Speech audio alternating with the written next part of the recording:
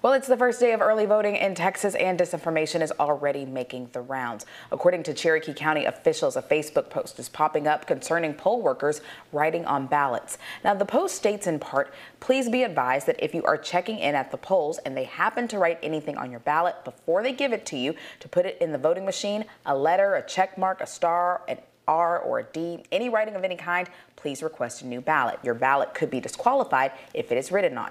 Now, to address this rumor, we go to the experts at the Cherokee County Elections Department.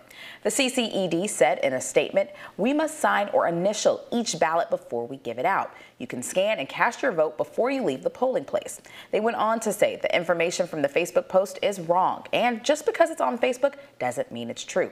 Therefore, we rate the information in this Facebook post as false. Now, you can read more about these rumors by heading over to our website at cbs19.tv. And if you have any questions concerning the elections, reach out to our Verify team by texting Verify to 903 600 2600.